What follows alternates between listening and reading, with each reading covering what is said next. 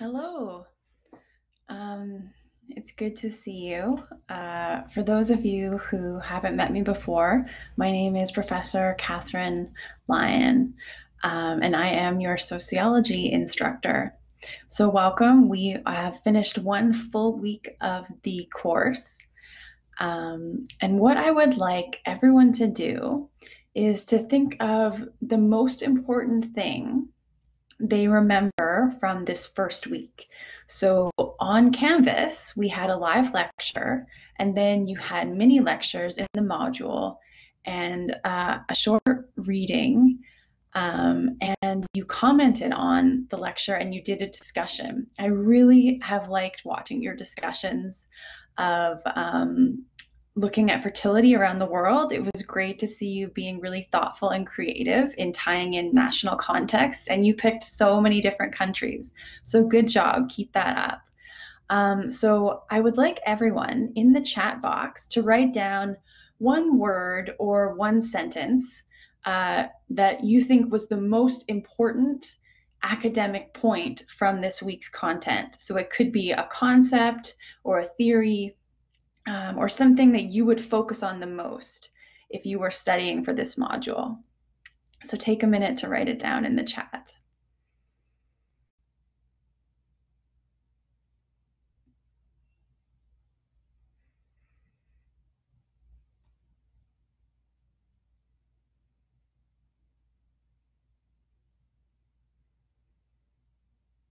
Okay, so lots of people are saying the sociological imagination, which is the concept from Mills from his book, The Sociological Imagination in 1959.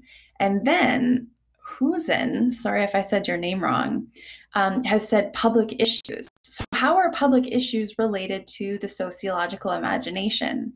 Can anyone explain in the chat the relationship between the sociological imagination and public issues?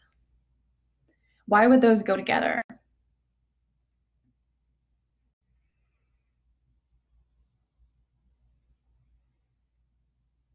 So Ziwei has said the ability to see the relationship between individuals and society. So that's the definition of the sociological imagination. But underneath this imagination, you have smaller concepts. So one concept is public issues, and the other concept is private troubles. Um, so, or personal troubles. Yes, thank you, Zhu Wan. Sorry if I said your name wrong. It'll take me a while to learn your names. Um, but I look forward to getting to know each of you this term because we get to be together until April, which is fantastic. Um, so let's think about a private trouble versus a public issue. A private trouble is something that is unique just to me as one person. It's something that is caused by myself and that I can fix myself. Um, but a public issue is something that is rooted in the society. It's something to do with institutions like the economy or politics or healthcare. Um, and it's something that affects large numbers of people. And individual people, if they face a problem like unemployment and it's a public issue, they can't fix the unemployment all by themselves because it's something happening in the larger society, like with COVID right now. Okay, so I see a lot of sociological imagination, public issues, private troubles. Um, then I saw something else. Yiwei said generation location. So thank you. That's excellent. Um, so I would say that's another key concept for this module. Generation location comes from um, a sociologist. Does anyone know the name of the sociologist that came up with generation location? This is another thing you would want to put in your notes. So you would want to put the name of the concept and then the person. Karl Mannheim, awesome. Thank you. Um, so Karl Mannheim came up with this idea of generation location, which is the argument that when we are born and where we are born gives us access to particular ways of knowing and understanding the world. So if you're born and as you're a young person, there's a world war, then a lot of people the same age in the same country that go through that war will have similar experiences. And for the rest of their life, will have a specific way of thinking from that time period. So people who live through a Great Depression often have different money and spending habits than people who don't live through a Great Depression. So this is generation location. So that is our quick review of Module 1. Um, and now we are going to start this live lecture um, with your Module 1 quiz. So every week you do a small quiz that has 10 questions on it. And this comes to a total of 15% of your course grade. So each quiz is about worth 1% of your final grade. Uh, so it has 10 questions. They're multiple choice and true false questions. And the quiz is going to open up in Canvas soon under Module 2. Um, first, I would like to know if anyone has any questions before we start the quiz. You're going to have 15 minutes to do it together. So this is an individual quiz. Okay, then I'm going to show you how it works. Uh, so if you go into our Canvas course, Soci 101, and scroll down to Module 2, Thinking Like a Sociologist, the very first thing there is the Module 1 quiz. So it says you will complete this during the live lecture September 21st at 1 p.m. And this quiz covers the Module 1 lectures, the readings, and the syllabus. So everything you just did the past week is now on this quiz. Plus, today it has the course syllabus to make sure you understand the course um, assignments and instructions. So if you click on this, you should be able to start the quiz. So please start the quiz now. You have 15 minutes. This is an individual quiz, so only uh, work on your own. Um, and I'll be here if you have any questions. Good luck. I will see you in 15 minutes.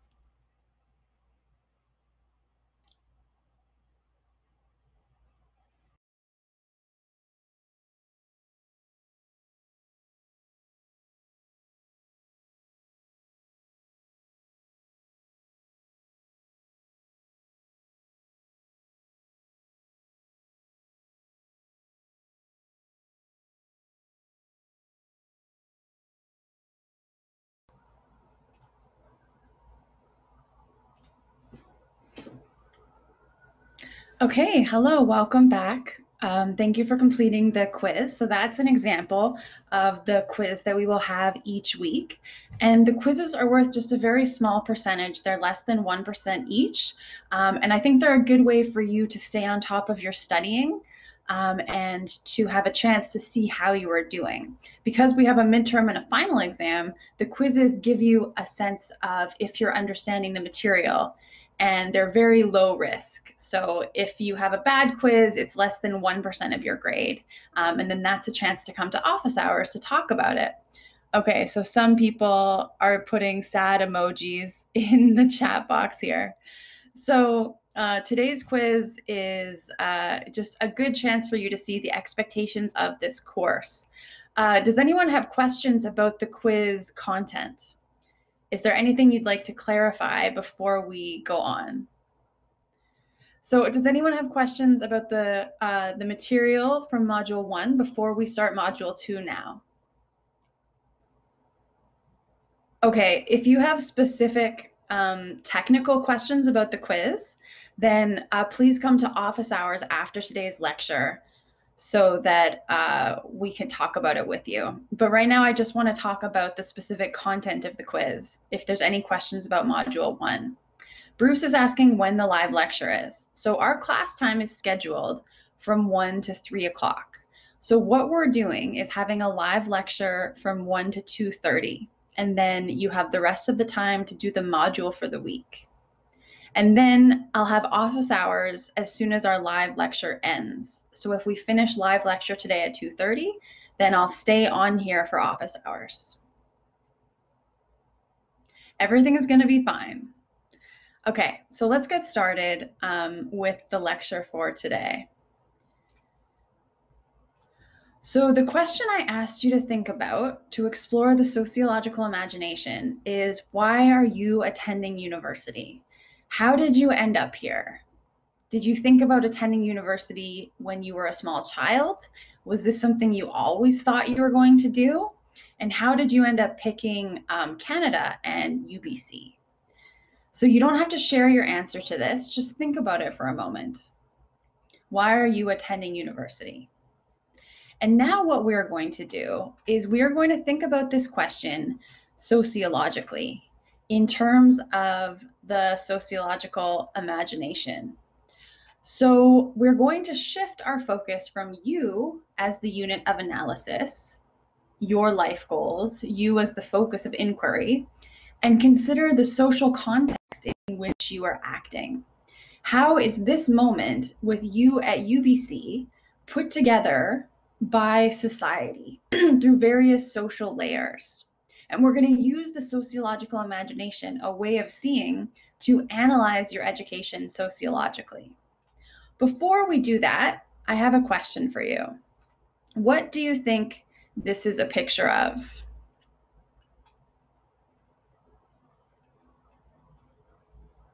You can write your guesses in the chat. Uh, seaweed, a cell, fire, a volcano, a starfish, an octopus, a monster, just artwork, pizza, uh, it Beth says it's just weird. Hair. Is it a dress? Is it meat? Art. okay, these are all good guesses. Uh, so I'm going to show you what it is now. You are all incorrect. It is a rooster. Um, and so now I'm going to flip through a series of images where we're going to zoom further and further out. And with every image, I want you to think about how does your understanding of what you're looking at change with each image. I also want to make sure that everyone has their microphone off so that the sound quality is high. So can you just check and make sure your microphone is off, please? Um, so are you ready to see the images? Here we go.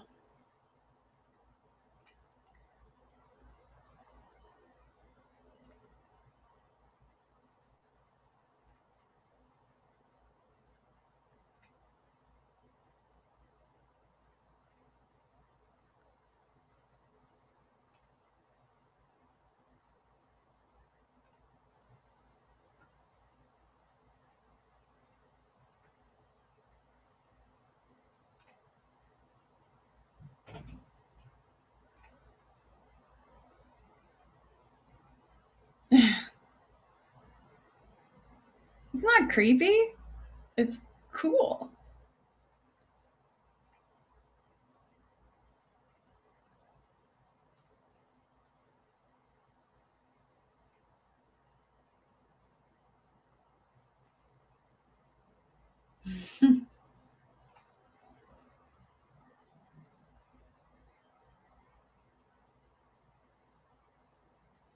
Another dimension.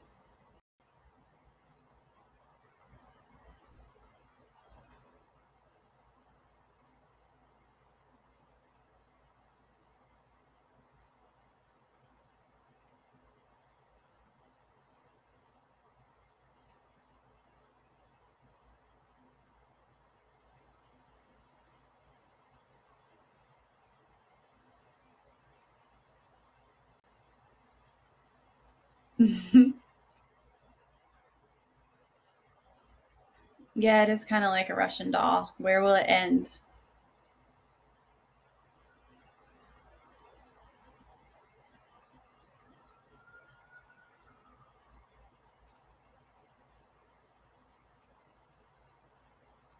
And that is the end.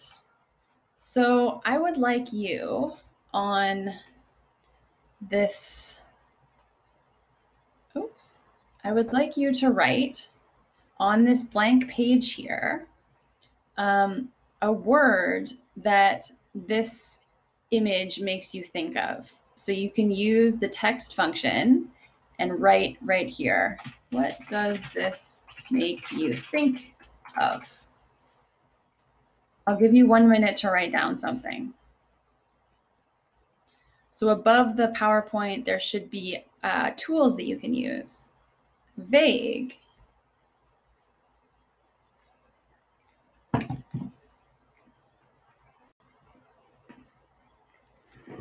We are tiny, reality.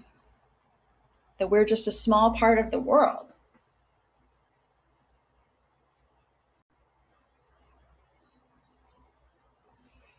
Society. What else? How tiny we are.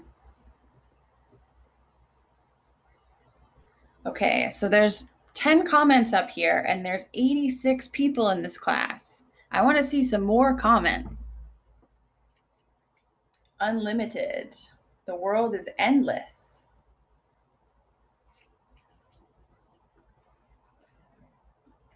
What you see may not be true. Is it a puzzle? Science and technology.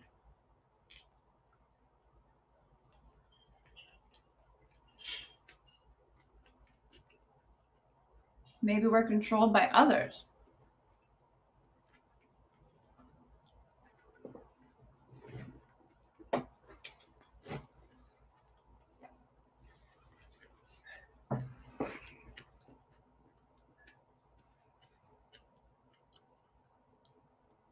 Everything is bigger than we think.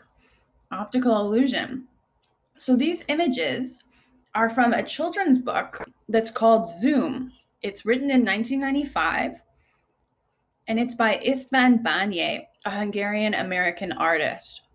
And there's no words at all in the book, but the images say a lot. You don't even need words. And I think it's a book that has a lot of imagination. I often wonder what the author is trying to tell us. And for me, it's thinking about, it's inviting us to think differently about our circumstances. Uh, different perspectives bring very new meaning to the situation. What I thought was just a rooster was actually just a child's game. Because when I stepped back, I could see it was coordinated differently. So it's inviting us to think about connections happening between the local, the national, and the global. And when we make these connections in a systematic way, using research evidence and thinking about the layers of social life, this becomes the sociological imagination. Sociology, more than anything else, is a way of seeing the world. It's a way of connecting personal situations to what is happening in your neighborhood, in your city, in your country, and around the world. And often these connections are invisible unless you search for them and document them and analyze them. This is what Module 1 was about. And today we are going to summarize Module 1 by thinking about your own education your decision to go to university. So, when something good or bad happens in our lives, when we start a new school, when we get a job, when we change a relationship, we often give ourselves full credit. If it's good, we congratulate ourselves. And if it's bad, we blame ourselves. Mills draws a connection between our private experiences and broader public trends. Mills argued we have unique biographies, personalities, friendships, and also our own habits, perspectives, and resources. At the private level, these unique circumstances shape our lives. But there is more to consider. We are also affected by broader institutional changes, the economy, politics, media, the legal system. So, our key question for today's lecture is What are the public roots of your decision to attend university? This seems like a private decision, but Mills and sociologists would argue this is actually a public issue, that most private decisions have public roots. So, with our key concepts, of private troubles and public issues, let's now turn back to our question about education. Why are you in university? Who actually goes to university? How is university attendance shaped by generation location, by the historical time period you are living in? How is university attendance a socially structured practice. And I have four questions to ask our class. And I'm going to use the poll function to do this. So think about this question who goes to university and who doesn't go to university?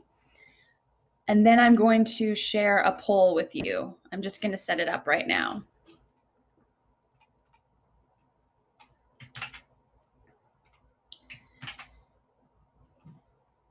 And I'm going to ask um, our TAs to keep track of the answers to the poll. Okay, so here we have poll one starting. The question is, did you have a male parent or guardian attend university?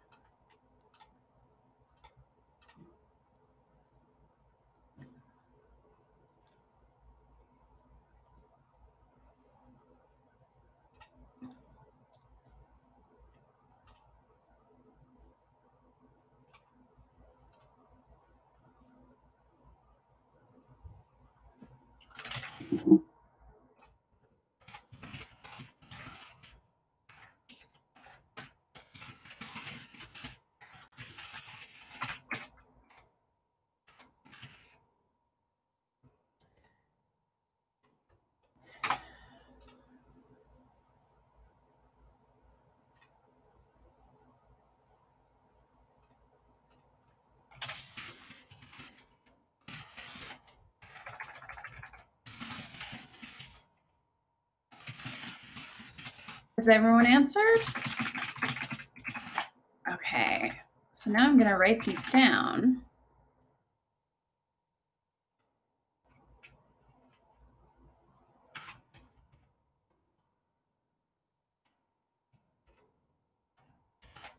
And I'm going to ask you another question. The next poll is going to ask you, can you see the responses?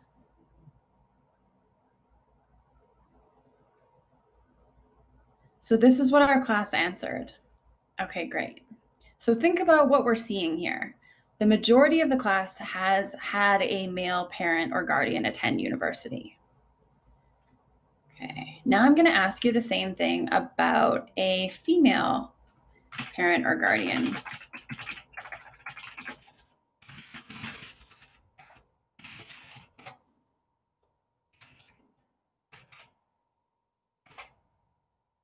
Okay, there's the poll for that.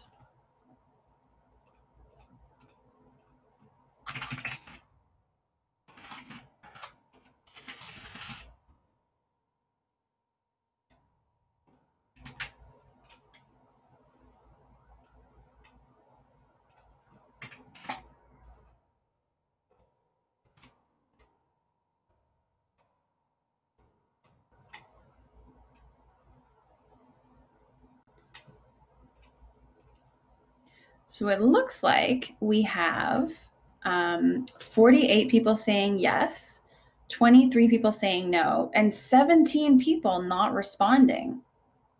So if you're in this class, uh, please make sure that you are answering this poll.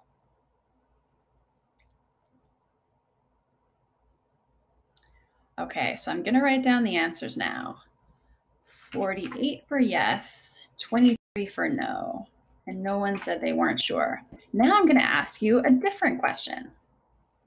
We're going to think now about your uh, grandparents' generation. Did you have a male grandparent attend university? So think about whether you know the answer to that. And here's your poll.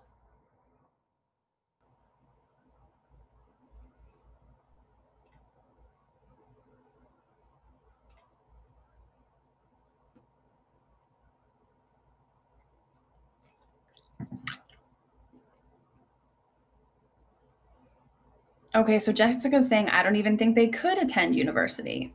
So that's a really good uh, thing to think about. So is this a personal decision or is it a publicly structured issue? So we're going to talk about that. Keep thinking like that.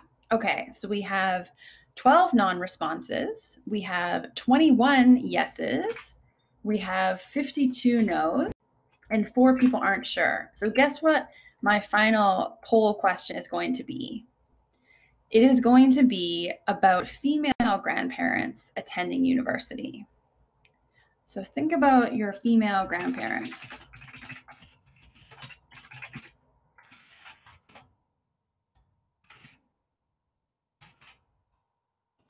And here is your very last poll.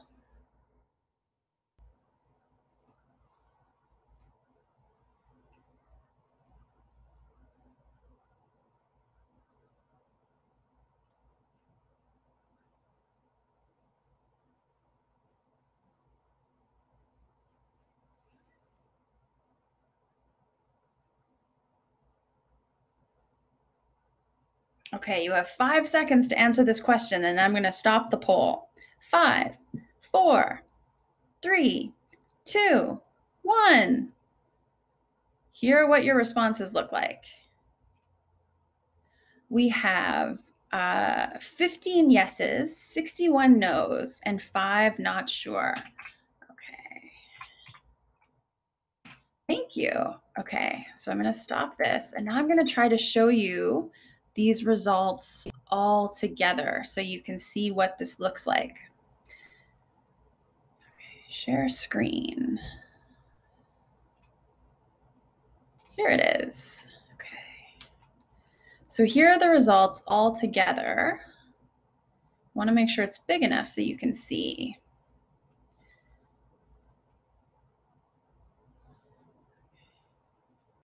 So here we can see for your generation, what are the big trends that are coming forward? If you were an analyst and you had to make conclusions about what affects university attendance, what would you say based on these findings here? You can write your answers in the chat.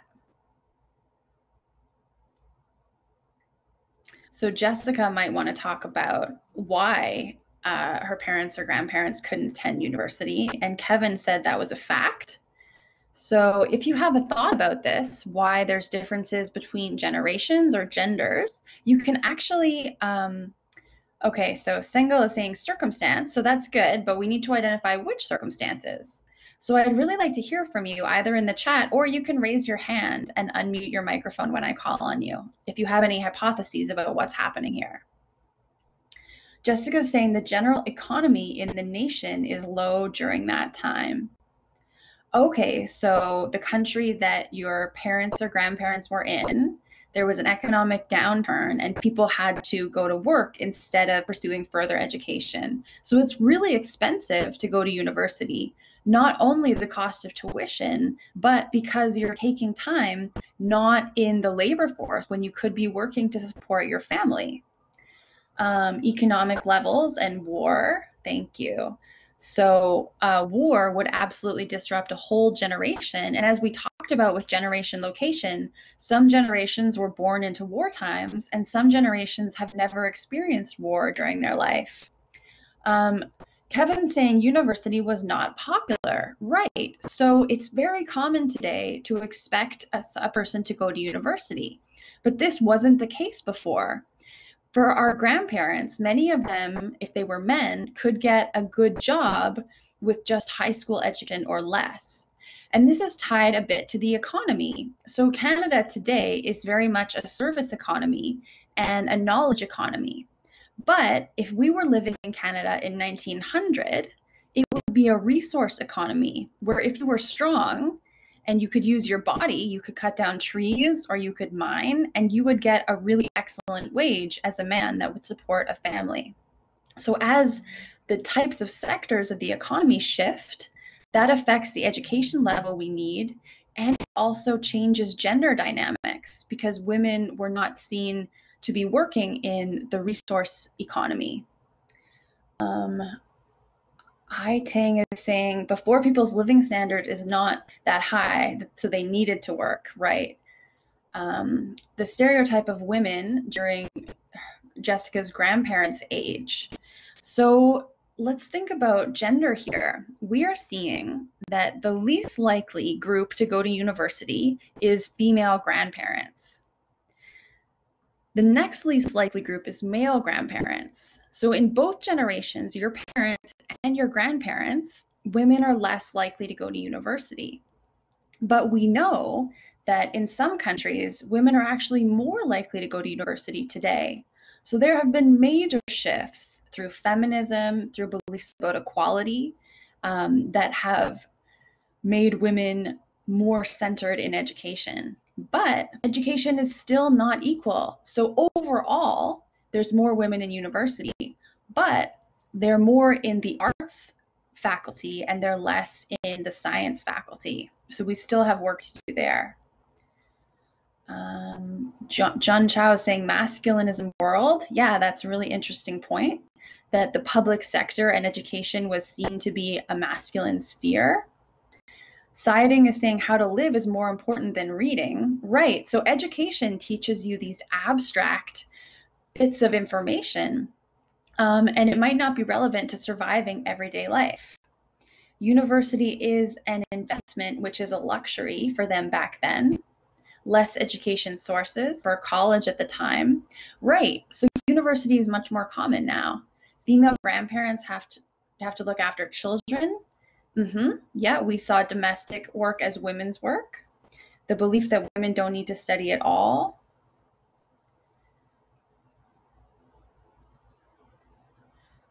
Okay, great. The Great Cultural Revolution. Um, different expectations from society. The government policy during that time was more likely encouraging productivity, not education. So would anyone like to raise their hand and add a comment? Maybe something that's missing here?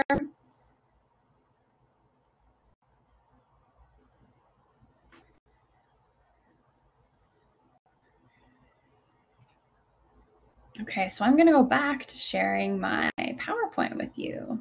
And I want to show you something else, which is when I asked this exact same question to my sociology class years ago, these were their results. So this is my Soci 101 class from uh, a few years ago. And the pattern is almost identical to yours. So in the grandparents cohort, overall, there much less post-secondary attendance and women were the least likely in that cohort. Their parents' cohort had a more equal division between men and women, with women actually becoming more dominant. And then their cohort, it was everyone 100% because they are the people that I polled. There's actually something wrong with this data though. So there's an overrepresentation here of people whose parents went to university. And that is because if you have parents who went to university, you are more likely to go to university. Does anyone, well, we'll talk about that in a minute. So think about why that might be the case. So let's look at some broader trends that affect university attendance. So here we can see um, rates of access to university in Canada. So this is a poll done in Canada. And first we look at family income. So if your family income is below $50,000 a year, you have a 29.8% likelihood of going to university. But if your family income is above $50,000, you have a 45% chance of attending university. So there's a big difference there based on class or socioeconomic status. And here's what I was mentioning. If your parents have no post-secondary education, you only have a 24% chance of going to university. If your parents have gone to university, you have a 47% chance of going. So let's talk about this, parents' education.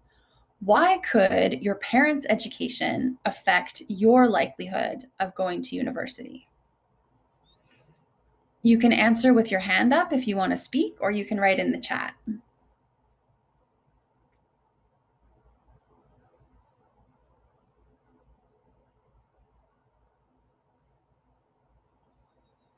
Okay, so parents' education would influence children's quality of education. How would that happen? So parents have an expectation that their children must go to university. So you might be taught that from a very young age.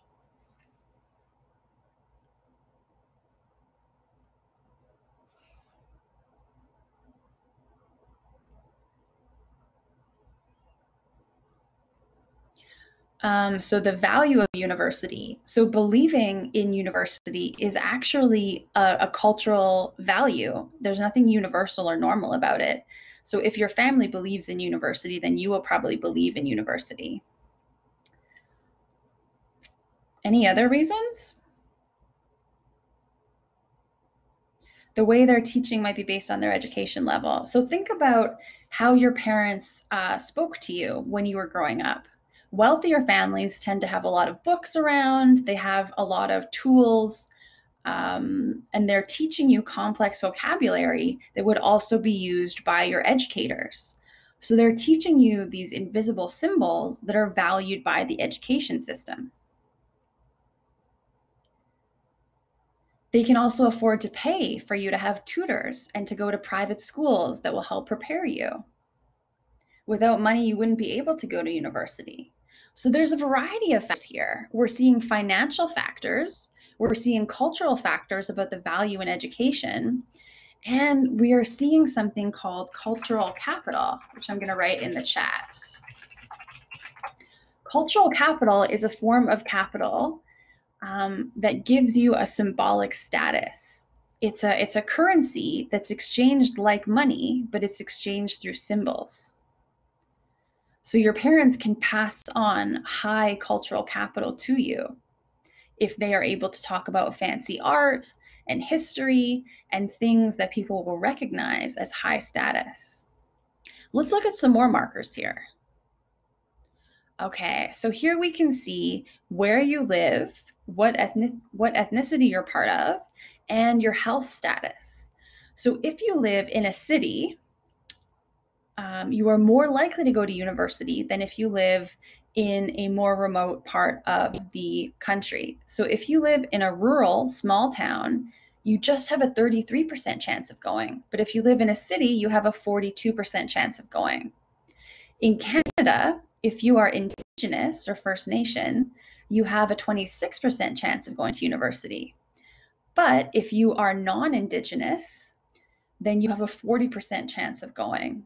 So we can see there the history of residential schools, colonialism, intergenerational trauma. And who created universities? It was the colonial government teaching the colonial information. Indigenous people had their own ways of educating younger generations, and it wasn't through formal schooling. So we can say that education is a colonial tool and we're trying to decolonize it. And then disability and no disability. University assumes a particular type of body and a particular type of mind. If you have a disability, you are 26% likely to go to university, but if you don't, you have a 42% chance of going. But we'll talk later this term about what disability is because most impairments don't have to be disabilities. They become disabilities if they are not accommodated. And there's always ways universities can be more accommodating to differences. Are there any questions or comments about this table?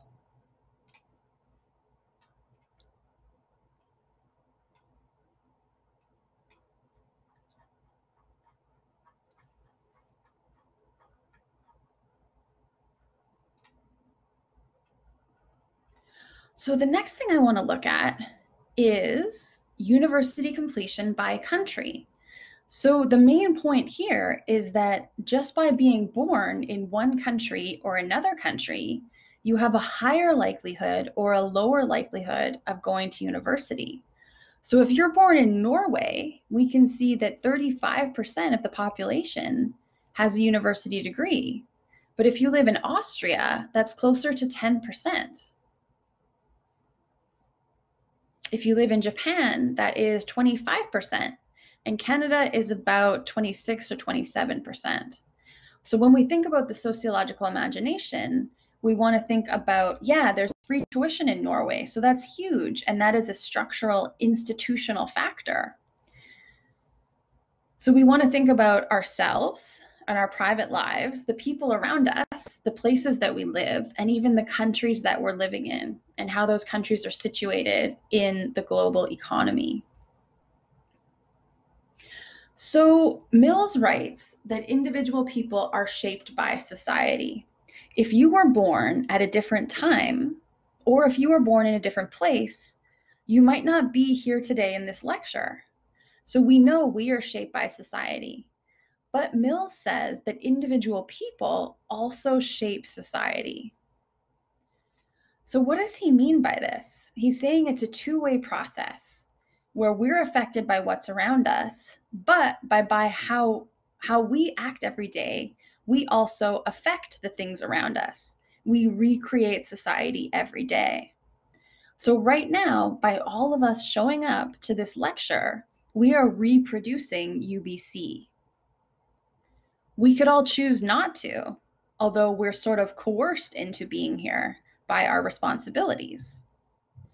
So, how are we as individual people shaping the education system? Who has an example or an idea?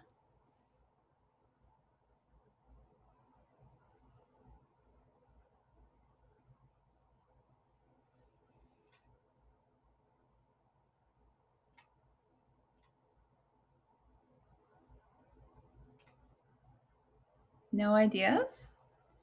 So you think that what you do doesn't matter?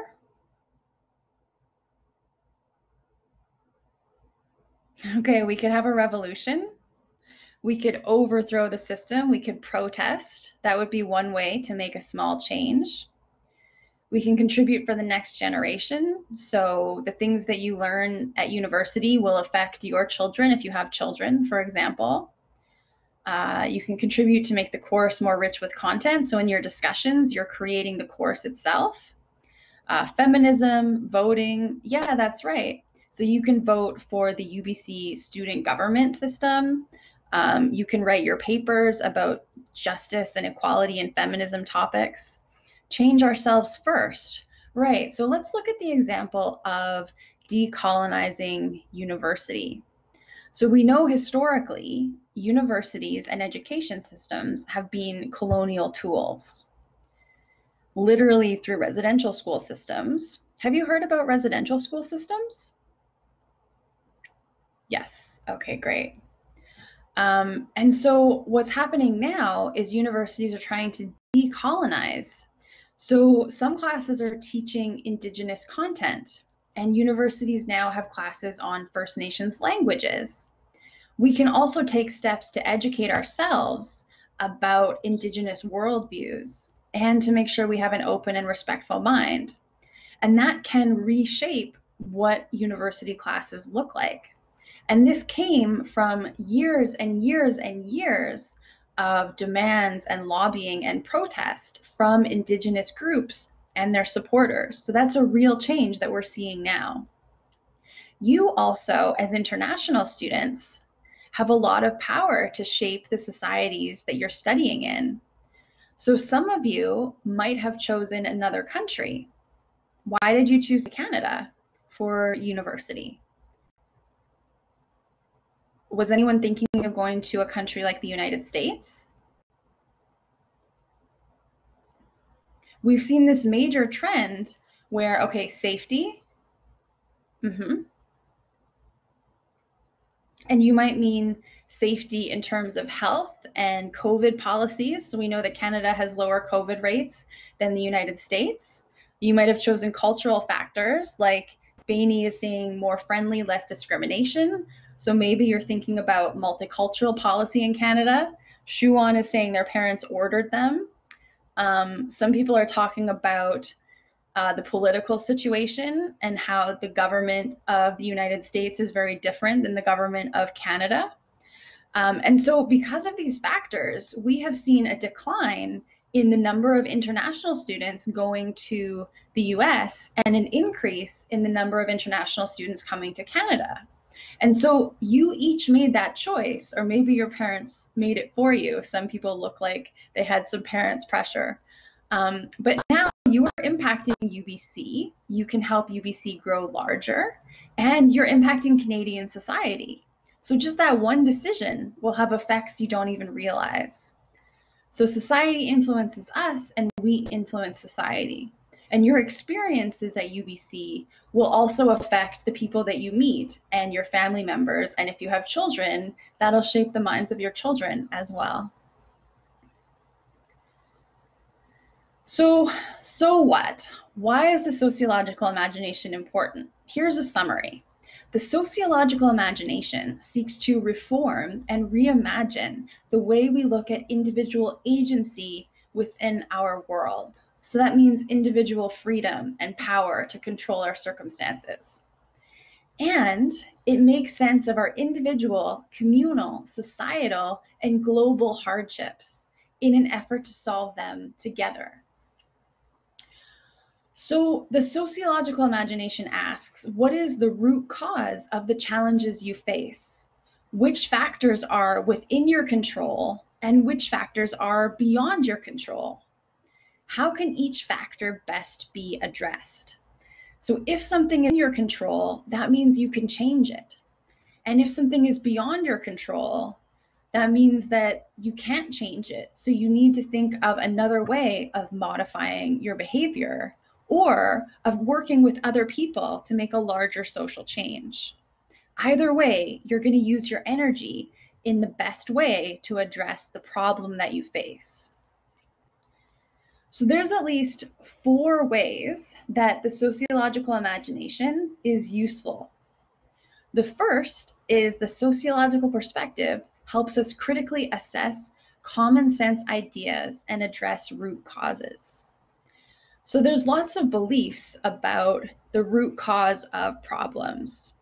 If you think about the problem of poverty, a lot of people using common sense would just blame the poor for being poor.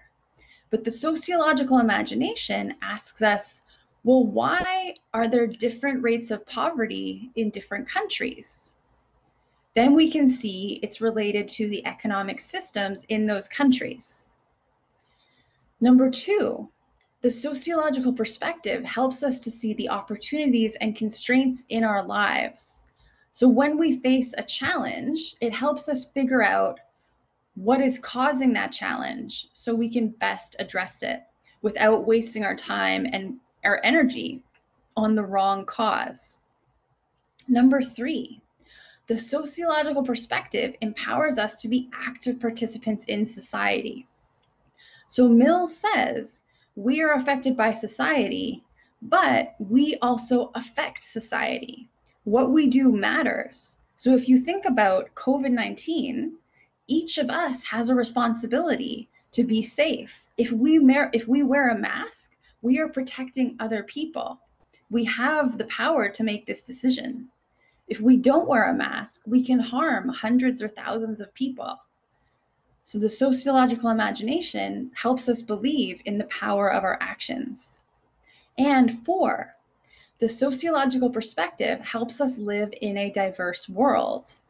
So if you can think about yourself sociologically and the challenges you face, you can also imagine what it's like to be another person. If there's someone that you don't understand, someone who lives differently than you or looks different than you, imagine what society has done to shape them. What questions do they face? What is their life like? And it helps you have empathy and connection with other people. We're all affected by many of the same common problems, even if it looks different. So this is our lecture for today on the sociological imagination. So this is the key point for Module 1. You've got sociological imagination, and then the smaller concepts inside the imagination of private troubles and public issues. Then you have Mannheim's concept of generation location. After this lecture, you are going to start Module 2 for this week. And Module 2 introduces you to four ways of thinking sociologically. So the sociological imagination is one of those ways, but there's three other habits of sociological thinkers. There are uh, there's one called seeing the strange in the familiar, seeing the general in the particular, and seeing through marginality and crisis. So try to find out the main ideas behind each of those ways of seeing. That is your challenge for this week. And then next Monday, we'll get back together in this live lecture and you'll have a quiz on module two at one o'clock. And then we'll have a new lecture on getting you ready for module three.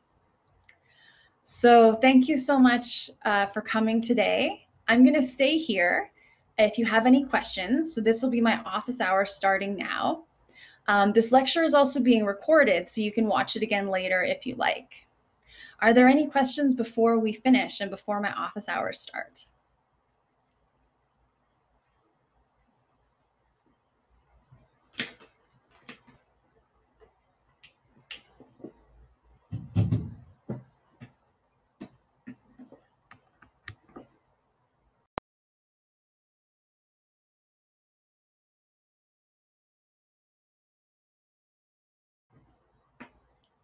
Okay, great. Um, so thank you very much. If you would like to stay and talk and ask questions, um, then you're welcome to do so. Oh, Kevin's asking, do we still have your tutorial? Yes, so tutorials start today.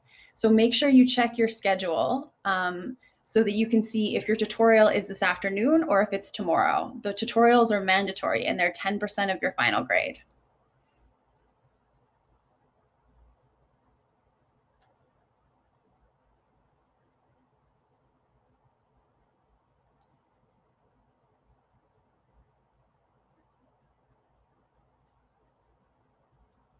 Um, Zihua, what do you mean late? Late for what?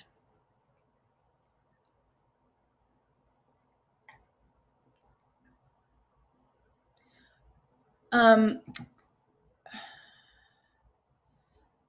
starting next week, uh, starting next week, you will be counted as uh, late, but today was okay because it's just a practice. Uh, the tutorial is in Collaborate Ultra, that's right. Uh, Luz is uh, raising your hand, so you can uh, unmute your microphone and uh, speak. Um, so hi, so I have a question about the cultural capital. I didn't like understand the concept. Oh yeah, okay. Um, so cultural capital is this idea from French sociologist Pierre Bourdieu. So I'm writing that in the chat. and cultural capital is a symbolic currency that gives power and status to wealthier members of society. So, cultural capital is something that you get through the education system and through being born into a wealthier family. And it is the type of knowledge that you have.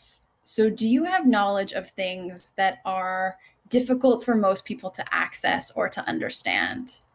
So, do you understand really fancy art, or do you go on really expensive um, trips around the world? If you mention this in a job interview, then it'll give you more power and status. Does that make sense? Yes, thank you. So, French sociologist Pierre Bourdieu argues that it's not just money that separates the classes, that it's this form of symbolic cultural capital that allows people to symbolically communicate their status, even if you don't know how much money they have. So okay. Ziku is asking, um, is my education cultural capital? So yes, your your diploma from UBC is a form of cultural capital, but even more than that, it is the way of speaking in academia that is a form of cultural capital and your ability to talk about famous scholars and famous books is cultural capital.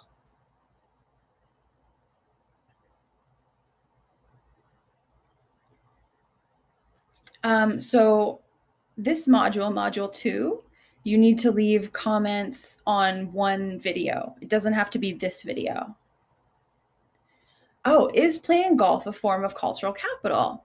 So I think it depends on where you are in the world. So in some countries, it would be difficult to have a lot of golf courses because they take up a lot of space and they need to be watered. So in countries where golf is very expensive to play, then it would be cultural capital. But in countries that have a lot of golf courses and anyone can play, then it's less cultural capital. Uh, do you need to leave comments for others on the video? So you just pick one video each week and leave a comment on that.